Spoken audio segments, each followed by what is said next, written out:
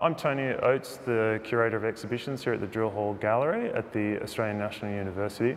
And I'm sitting in the exhibition Propeller today with the artist Ham Darroch. Ham is a Canberra-based artist uh, who grew up in Sydney um, and moved to Canberra to study sculpture in the mid to late 1990s. Um, and you've travelled all over the world, Ham, but uh, it's interesting that you've come back to Canberra for this survey exhibition. You've been here a little while. Uh, and what we see in this exhibition is kind of a development from predominantly sculptural practice into um, more recent interest into paintings and trying to translate a three-dimensional space onto a two-dimensional plane. Can you Tell me a bit about your starting point at the ANU Sculpture School and how that influenced you and where it led and how you've uh, stepped across a divide of sorts, mm -hmm. if that's the right word. I, I um, was uh, at, the, at the sculpture department and uh, I'd come from Sydney, a TAFE course with some very formal sculptors, uh, Jan King and Paul Hopmeier mm -hmm. and uh, Jim Croke, and I went down to here where there was a real sort of uh, mix between uh, a formal way of making art and a more investigative, uh, postmodern way of looking and making art. So when I arrived here in 1995, that was the vibe in the sculpture department. So there was performance work, uh, you know, lots of ephemeral work, clashing against really formal, you know, sculpture, you know, uh, carvings and um, welded steel. And so uh, I really enjoyed that discussion uh, back in uh, back in the 90s, and uh, it it certainly uh, balanced my way of thinking about making art in some way. Uh, you, you, you could make it quite formal, or you could attack that, or you could go the reverse. The the school at that point in time, the sculpture workshop was quite dynamic yeah. Uh, and led by David Watt, and you know he kind of was pushing it in multiple directions, which kind of opened a space where you could make any work that you wanted to and have it within the context of a, of a sculptural practice. Yeah. And develop your, your own, uh, hopefully, to begin to develop your own voice within that. Uh, you know, uh, easy for some, not easy for others. And of course, you know, things change as, as far as modes of making go.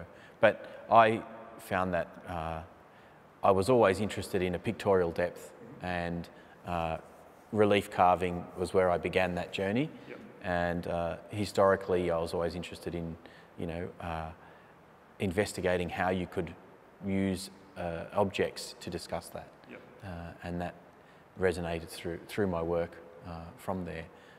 and this show, I, I agree, looks at me pushing into a more pictorial space where I'm using tools to make paintings rather than, um, sometimes they break free of that completely uh, and other times there's an echo back in to those tools. Yeah, yeah I mean there's an interesting, uh, one of the kind of key uh, shifts in sculpture in the modern idiom was this idea of drawing in space. And so artists were trying to use uh, three-dimensional form to replicate the ideas of a drawing. And I think what we see in your exhibition is the opposite, or coming back out of sculpture into making uh, paintings. So you're moving from a three-dimensional form into a two-dimensionality, uh, which is quite surprising. And the main way that you've been doing that is meditating on an object, but using color as a spatial entity. And there's a whole series of paintings in this exhibition that meditate on a bowl form mm.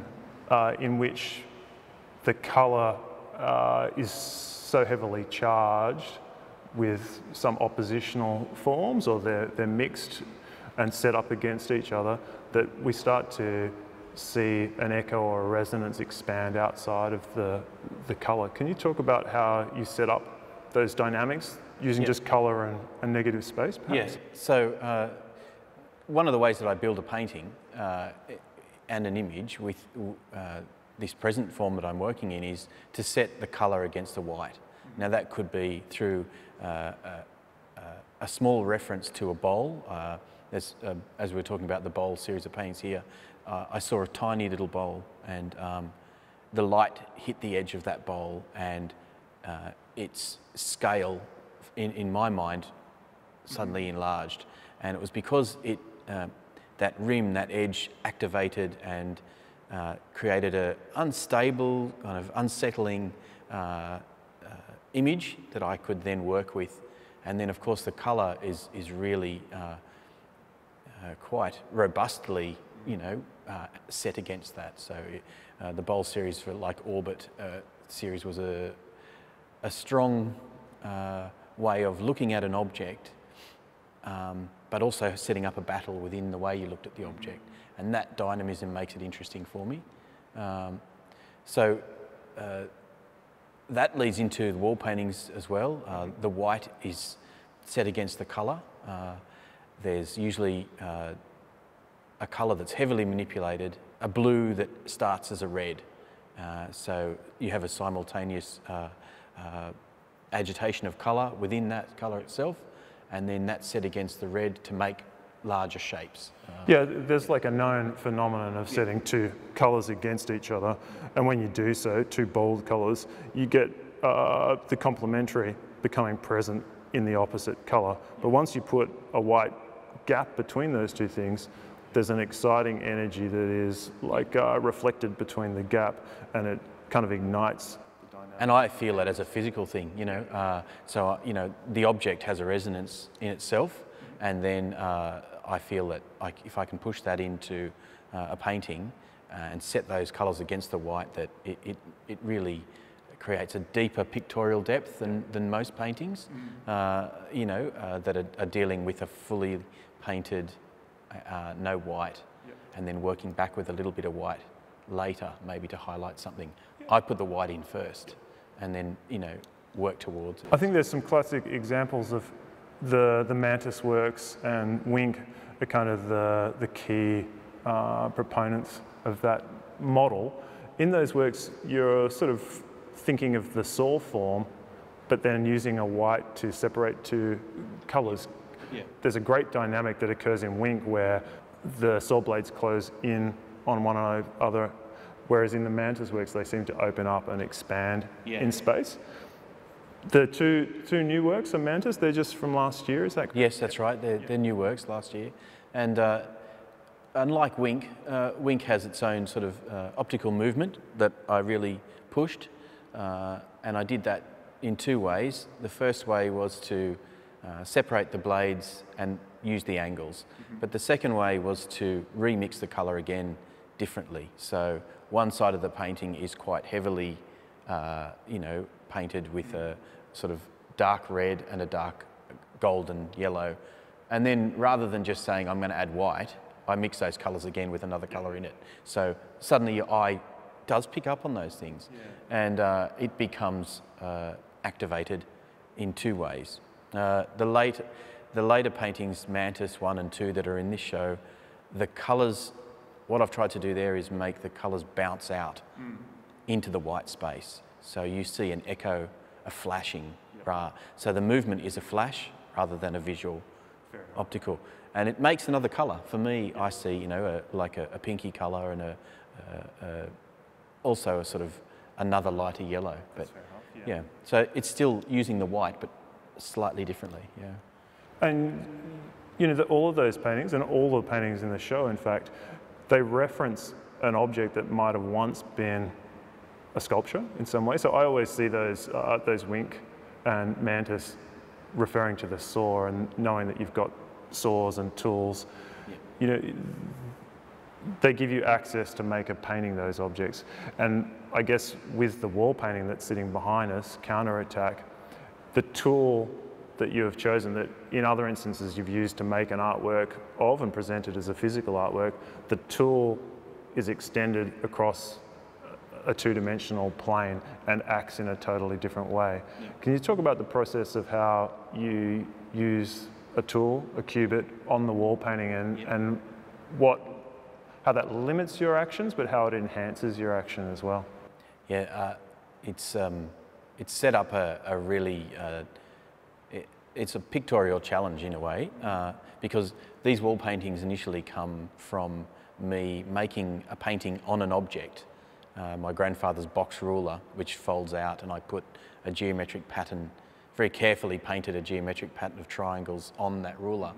And then I thought one day, what if I use this ruler to make a painting yep. now that I've altered it? And so I treated it as a beam compass of sorts, you know, and held one end and traced the other end, and then uh, kept what I thought would be uh, a simple way to do it to one colour, even though that colour was manipulated. Yep. Uh, it was a, a, blue that had red in it, and then just gradients. So uh, that object, um, you know, triggered that way of making paintings directly on the wall for me. Um, and it was integral, you know, but it was a really exciting jump. Yeah, it's quite an interest. It's not the way a painter might approach making a painter, if, the, if you might, don't mind me saying so, no. because uh, it's still tied to a physical object that's found, and I think that's quite that's quite an interesting trajectory that we see in the work. Is that yeah. the object becomes a mechanism to open up to yes. become something that it's not and become a painting. And uh, what's very interesting about the this painting is that you're also referencing uh, a series of um, Renaissance paintings. Can yes. you talk about the relationship and where that uh, comes from? So, of course, the counterattack is um, uh, there's a scaffolding in counterattack. Uh, to make a painting this big, uh, I really wanted to have a discussion, uh, have some deeper thinking about a way of making painting. And the Renaissance is a good way to start because you're talking about pictorial depth and that huge jump that they made uh, considering space. But I didn't literally want to paint that, so I thought if I used uh, that method, which has now become a cubit, which is from the tip of my finger to the tip of my elbow, uh, that fan shape in there uh, is drawn from that. Uh, and so they come from three uh, triptych called the Battle of San Romano, which is Paolo Uccello, and one's in the National Gallery London, uh, which I've seen quite a bit from having lived and worked in London a bit. And uh, the other two are in the Uffizi and the Louvre. Uh, I've also had a look. They're much changed paintings um, colour-wise. They were very silver. Uh, but what hasn't changed in them is the joyous kind of investigation of objects and spaces. And uh, I thought that why not use my proportions now to explore that in a painterly way uh, so, you know, I scaled them to my scale, you know, so up from there. So if I had two arms re reaches, that was, uh, you know, four cubits. Yep. So uh, I then began to investigate the space and discovered uh, more about this way of making painting in the process. It's ephemeral, of course, it's going to get painted over. So. Yeah, I think that, that that's quite an interesting uh, concept because in many of the sculptural works, you're kind of rescuing an object from impending doom, pulling things out of the Thames or pulling out basketball uh, uh, nets from, uh, you know, the impending death. Yeah. But here, you're making a work that uh, will be erased very soon.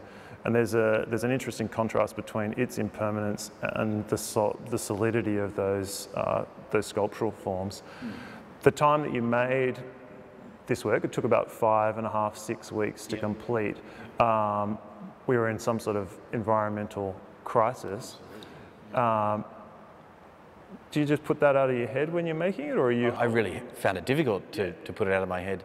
Um, it, it was a, the most uh, challenging work to make uh, because, you know, as an artist, often you are, you know, close to your emotions. You may not display that, and not all artists are that way. But um, I, I, found that really challenging because I was investigating a very human thought, yep. making a painting, a very historical way of uh, re recalling something and uh, adding a history to, to something. Mm. And also, I knew it was ephemeral, so uh, I had to begin to make a structure that I could enjoy and inhabit. And um, I found ways to do that in this painting. Uh, so what did you learn about Uccello's painting in painting it that you might not have already understood? Is there something that came out yeah, of that process? I, mean, I think he was um, very interested in uh, signals within his painting. Uh, you know, constructing a, a fallen lance or a series of lances to, to uh, and really looking at the object.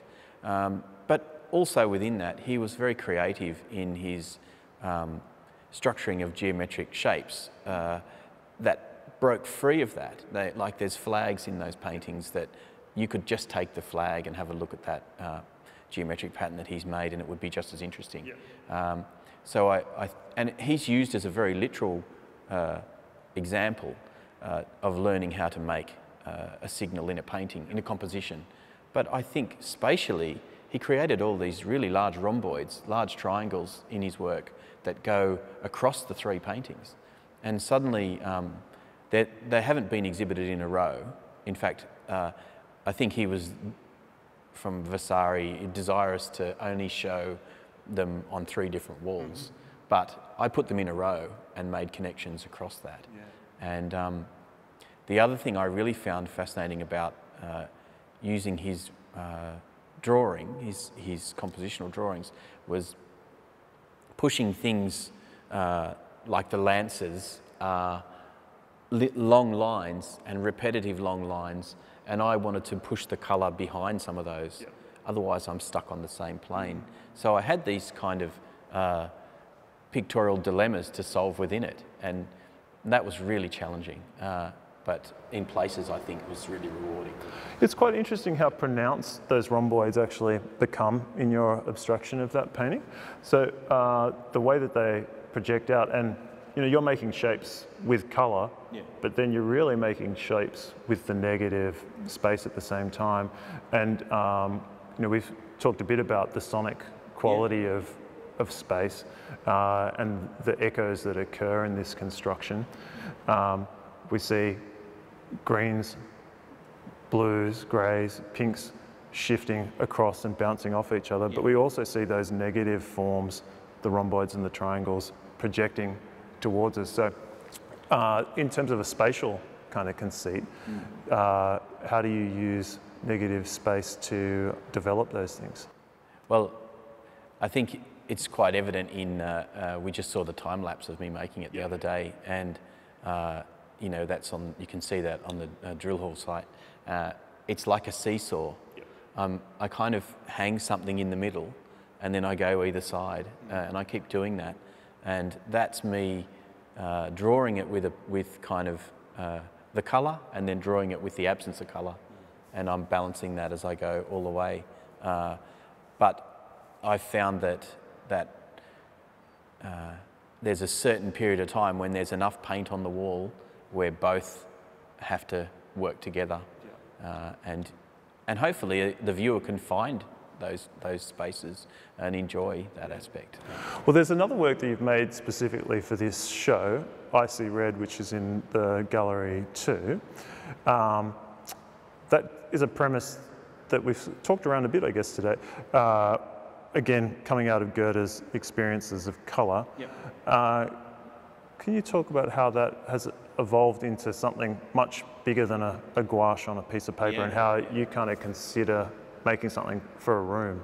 Yeah, uh, that was uh, a series of gouaches that I made and started, you know, uh, really in 2011. There's a blue uh, and green gouache in Gallery 3 that's quite, it's called Night's Edge.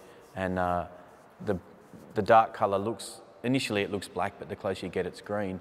And uh, I was really interested in Goethe's colour studies and his um, surrounding colour with the dark or creating a gap with the light, which is what he does a, a lot to, to find out which colours lean towards each other from the colour spectrum, you know. So you've got your blues at one end and you've got your reds at the other, and uh, you have a, a, volume of both to work with in, in Icy Red Room. Um, and both of those colours, though, start as red. So I then bulk up the colour until it becomes a dark green or a, or a blue.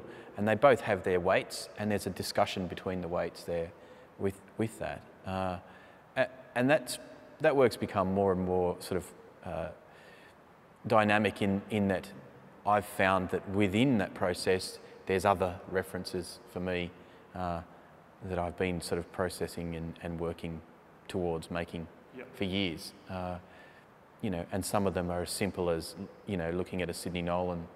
Uh, there's a painting that, that's called um, Quilting the, the Armour, where the blue void of the sky is being stitched inside the helmet, you know. and It's like a reflection. it's a reflection. Yeah, yeah. And so in in um, in I see red, that blue is spatial as well. More so initially than the the dark green, but then the dark green sort of creeps up on you because within it you do pick up a harmony of red. I'm sure. You know. I guess yeah, you bring up an interesting point. Like uh, a lot of your work uh, is historically engaged with artists that you're interested in or artists who've made great leaps forward. I mean, I see like the Delaunay's quite regularly in some of your works. Uh, there's obviously like um, the Tatlins as well. We talked about them Yeah. before. But uh, Matisse, I see in several things. But you're, you're very engaged with the past and you're a keen observer. Um, you get to travel quite a bit to see things, so you're quite fortunate in that regard. But um, that engagement with the, the past obviously feeds into a lot of your, your work currently. Yeah, it's, in, it's certainly inquiry, and it, it, it um, sometimes percolates up in ways that I don't expect it to. I mean, I see Frank Stella in Yeah. a lot of in, in these more recent Mantis things. There's a lot of like uh, reference to his action or to you know the opening up and the, the Yeah. systems of making a painting. Yeah. Yeah. And I mean, they're, they're all, um, I suppose it's two things. It's my kind of memory uh, and the way I use my knowledge of, of uh, a painting or a series of works that I've enjoyed, and then my actual ability to physically make something just with a you know simple tool. So uh, paintbrush and paint. Uh, you know, uh, all of these works are just hand painted. Uh, you know, I'm very much about that. Yeah, no, there's certainly, you could certainly, the tactility of the hand in a lot of these works is what activates them as Yeah. well. Like, uh, so in a photograph, they may appear crisp and clean, and there is an element of that, Yeah. but there's a lot of nuance to the surface, uh, particularly in these bowl paintings, Yeah. where um, the, the color isn't applied with um, exact precision. It's, it's all there, and it, the nuance of the hand actually helps to activate the surface. The lines aren't perfectly straight, the circles aren't exact, No. but you know, the body, the human body. It's interesting you say Frank, Frank Stella in that way. Yeah, you yeah, know, it's- uh, he's so integral into like getting the big brush and painting those black and whites, yeah. and and uh, you know, if it's one twentieth out, it's better. That's you know, right, yeah. than something because it, your your your eye picks that up and you engage with it. I- think it creates a nicer distance That's true. Yeah. to look at something. Uh, yeah, uh, I'm very lucky. As uh, also, I have travelled a lot and seen a lot of art, uh, you know, and worked for you know very well-known artists uh, for some time now, um, and no doubt that stuff uh, rubs off on you, but um, you, in a way, it's been good for me to go the other way rather than have become a, a painter's painter straight away. You know, uh, I've been able to free myself of a lot of uh, pressure. I think by thinking about objects and and uh, and space and time, because uh, underpinning, you know, this work, it's ephemeral. The other works are on the edge of being lost completely. Uh, the shovel heads have been pulled out of the Thames. They're half falling to bits. Uh, and I've given them a new life and, and a new discussion. Uh, so certainly that's, that goes both ways, that historical knowledge, I think, you know. I'm willing to let some of it go and I'm willing to, you know, take on. Yeah, so there is quite a lot of Nolan. Like uh, we've got the work Moon Boy in the back gallery there as well. You obviously had a bit of a thing with Nolan. Well, an ongoing kind of relationship with his works.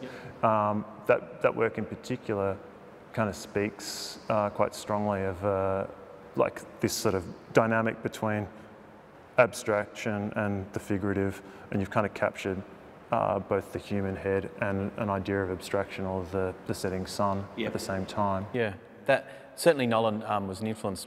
Um, when I lived in London, uh, I was thinking about some paintings and uh, of his, and when I came back, uh, a lot of a lot of that came out. But it was more also about thinking about uh, an icon, uh, and not necessarily having him as an icon, but saying what are you actually doing in your paintings that's making you this kind of uh, thing? Is it the colour? And then you know. Uh, humour's important in my work too. Yeah, you know, so um, you know he, uh, you know, he's quite. People know Nolan and they can be quite serious about him. But I, I kind of like that looseness. Not to say that he's always serious because I don't think he was. But Moon Boy, you know, as soon as I saw that shovel head, it was the, a referencing that painting. You know, it, maybe it was just so uh, much of an extension to the figure. It's got a neck, it's got its head, and I just put the disc in the middle. So it was kind of a, a, a little jab, but it was also a, a, a nod as well. you know, could do both. Um, uh, and Sun Trap uh, with the rabbit traps. The first work I made of rabbit traps references a not, it's called Diversion. Uh, You've seen it. Uh, uh, that references um, his painting uh, called Hare in a Trap. Right. And uh, there's a rabbit in the, it's in the Arco New South Wales, there's a rabbit trapped in a rabbit trap with its foot, but its eyes are blue and they're his father's eyes. Mm. So, you know, you, people not initially get that, uh, but then, you know, you'll find your way into a painting. And uh, so that work, Diversion, had red and blue on the plates of the traps. So they were kind of almost kinetic Yep. uh, with, a, with a geometric movement backwards and forwards, but they were prized open as well. So they had a bit of bite, you know, visually. Well, Sun, Suntrap's kind of very similar in terms that uh, the colour uh, both activates the, the trap, but also makes you forget the trap is a is another object. Yeah. Uh, there's a there's a reversal of of its uh, of its purpose, or its purpose still stays with us, Yeah. but um, you recontextualize that, and that's that comes through in all the sculptures, really. Yeah, uh, and importantly, that um, Suntrap uh, became a, a, a sphere and a, a body itself. Uh, so the wall's painted, it's integral to have that wall behind it, a deep uh, indigo blue, and it allows it to just activate the yellow that's underneath it. So there's this dynamism that's happening with the colours as well, uh, as the brutality of the um, uh, uh, of the traps being turned into something less brutal, you know, a pictorial discussion, a discussion about, you know, uh, planetary bodies or something like a void as well. Well, that work reminds me a bit of Howard Taylor, and I know you've been fascinated with his work as well. Uh, and you actually have a couple of small Howard Taylors at your house Yeah. that fascinatingly resemble uh, a table tennis. They do, yeah, which is really curious. Uh, uh, and I didn't have them when I started painting on table tennis bats, which is curious. Uh, the first series of bats was 2001, uh, and they were portraits. Yep. And it was called uh, Great White Blokes. And carved into those bats were, you know, the Great White Blokes of Australia at the, at the time. A very, a very political series of work called Rally. You know, so we had, you know, Kerry Packer, uh, uh, you know, John Howard, lots of politicians, Alan Jones. You know, it was a direct pun on the rally of life. And then I thought, well, uh, these I left them for a little while, uh, a year or two, and then I went back and started painting on them and carving into them. So, uh, and then I, when I, when Howard Taylor's uh, arrived, they were um, so personal. You know, they were this size, the same as a bat. They weren't, uh, and they're maquettes for sculptures that he made that were much bigger. So we're talking about scale straight away. You know, so I've, I felt completely, you know, uh, positive about you know the way I was working.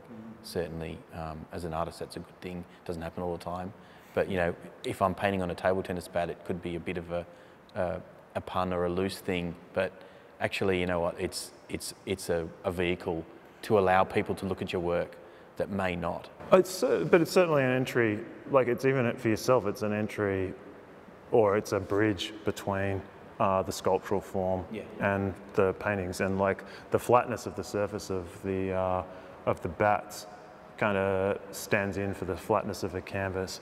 Um, and you're allowed to then uh, develop space within both of them. And they're mementos as well, in a way. Uh, La Danse, which is after Matisse, uh, even though it doesn't have the figures directly in it, it's reduced to a geometric shape. Uh, Anyone who knows the Matisse work, they pick it up straight away. So Yeah. like it's it's it's evident straight away without the figures. It's quite the colour helps, um, and, and it's such an amazing painting, uh, you know. And I've, I remember seeing it the first time, and you know, uh, feeling really small and learning a lot from it, you know. So it's, um, but those bats were, uh, you know, out in the flea market in Paris, you know, and uh, they had to be a, an echo of, of their of what I'd just seen. So that's often a way I work. So that that little moment of engagement with an object can be more greatly uh, investigated.